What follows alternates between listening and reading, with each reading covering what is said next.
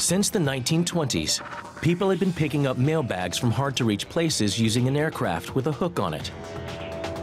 And during World War II, the Allies tried to adapt it for human pickups.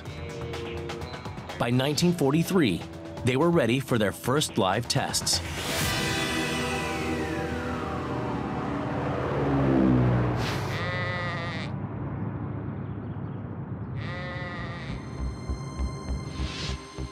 It did work, but there were several problems. The aircraft had to fly in very low, so you needed a wide open area without trees or obstructions. And though the system did use a crude shock absorbing device, what's fine for picking up mail would strain the limits of human endurance. In the early 1950s, adventurer and inventor Robert Fulton comes up with a new system. He thought there was a better way, and he wanted to do it from the front end of the airplane. He wanted the pilots to have something to aim at rather than something that's behind them. Fulton begins experimenting in 1950, and spotting its potential, the CIA soon gives him its backing.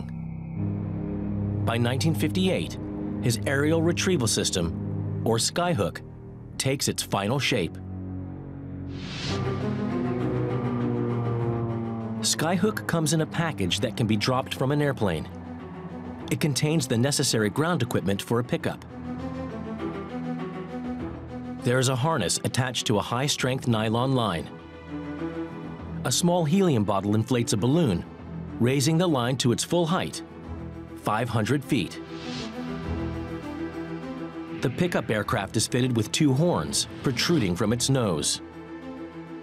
It flies into the line and a trigger at the base of the horns simultaneously releases the balloon and secures the line to the aircraft. The simple geometry of the pickup means although the plane is traveling at speed, the agent is initially lifted gently and vertically off the ground, gradually accelerating as the line is pulled more horizontally until he reaches the same speed as the airplane. The line trails along the base of the plane and is caught through a hatch at the rear.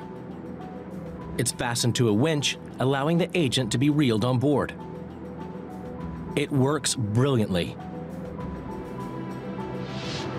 And because the initial lift is vertical, pickups can be made from inside forests and even out at sea.